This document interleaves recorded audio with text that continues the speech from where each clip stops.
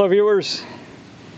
This video, I want to show you how to replace the air filter element for your engine on the 2001 through 2007 Dodge Grand Caravan, Caravan, uh, Town and Country, and some of those early uh, Plymouth Voyager models.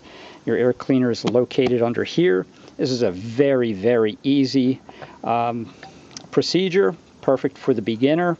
In fact, it's so easy, I originally wasn't going to do a video, but I thought maybe there's somebody out there who would appreciate it, so here you go. Uh, first thing you're going to do is there's this breather hose that goes over to your uh, valve cover over there.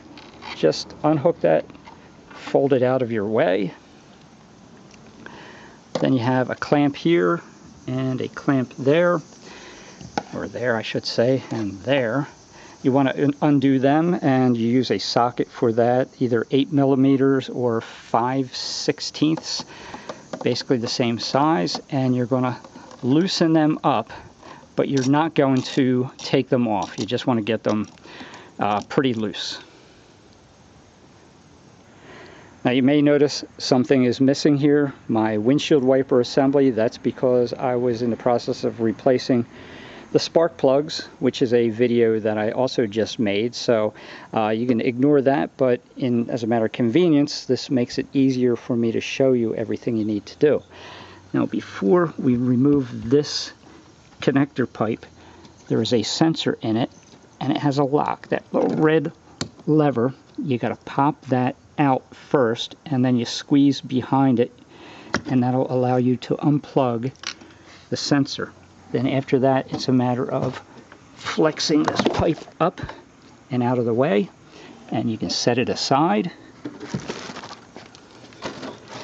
Then there are two clips. There's one here that you have to undo, and one back here you have to undo. And this cover is hinged along this side here. So you lift up and out, and usually the air cleaner stays behind. In this case it came with the top. And that is the air cleaner. Look down in here if you have any leaves or other debris or if uh, chipmunks build a nest in there, clean that all out. Now if you look at the one I'm removing, this Fram filter, uh, yellow is its natural color, really does not look very dirty. You're supposed to replace these, I think it's like every five or 6,000 miles. This filter has 13,000 miles on it and it looks pretty close to new but it looks a little bit dingy just a little bit. So it's looks can be deceiving because all the fine particles of dust that it's filtered out are clogging all the little holes in the filter. And so if it looks visibly dirty that usually means it's too far gone. So don't trust the appearances of your air filter so go by mileage, and if you're in a very dusty region, then you want to replace it even more often. Now you're going to drop your filter into place. Make sure it's seated properly and evenly all the way around. Now once your new air cleaner is in place, you have to put the lid back on. So you line up those three pins with the hinge area there make sure nothing is caught under there.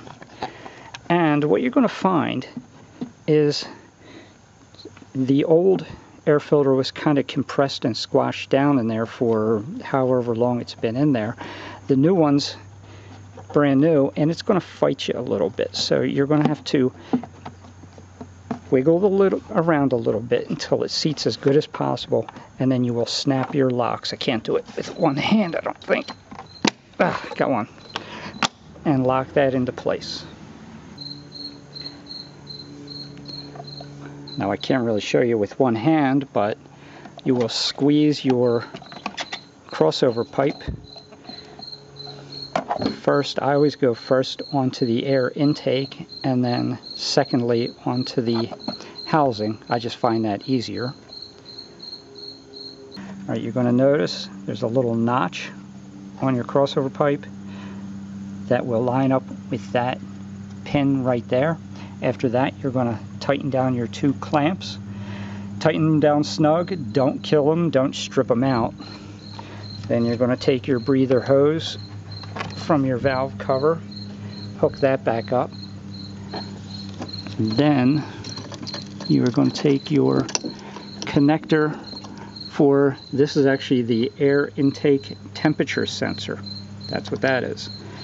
And you're going to plug it back on till it clicks. Come on camera, focus. Maybe this will help. Till it clicks and then you're going to snap the lock back down. Sorry for the out of focus. I have no control over that with the camera. Get that lock back into place.